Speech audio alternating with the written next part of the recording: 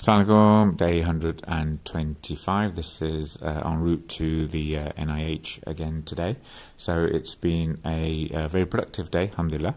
Um, uh, the sun is out. It's actually quite uh, pleasant in the morning, but then it's sort of uh, clouded over towards the end of uh, the afternoon.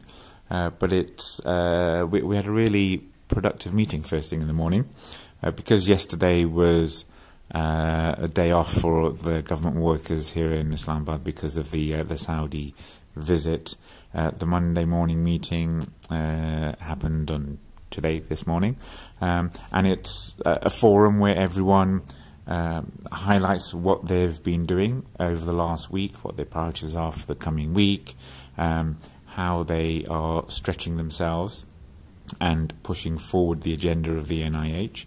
Um, so it's a very good uh, um, uh, meeting, uh, well chaired for, uh, by the uh, the ED in terms of getting people together and getting them to think around, you know, uh, thinking themselves as a collective, trying to push back the the the boundaries of what uh, NIH can do. And part of the one of the presentations was around the use of social media and YouTube. And again, there's a lot of uh, talent here and a lot of opportunities. We just need to, you know, harness those ideas.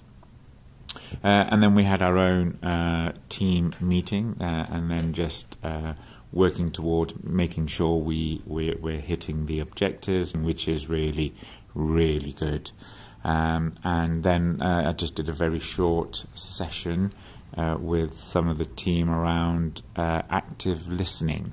What is active listening as opposed to sort of conversational listening or hearing, um, and uh, how we can or should be using it as a, a facilitative tool.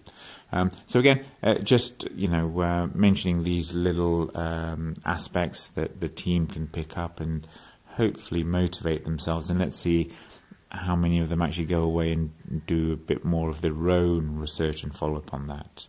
Anyway, uh, later on, uh, we just had uh, visitors from uh, DFID just uh, doing a walkthrough uh, of here, this of the NIH here, um, and uh, then um, I got home again, still felt tired. Had had to go to to go to bed for a couple of hours as soon as I got back. But uh, inshallah, uh, tomorrow is I think quite a pivotal day for uh, for for colleagues here. So uh, catch up soon, inshallah. Assalamu alaikum.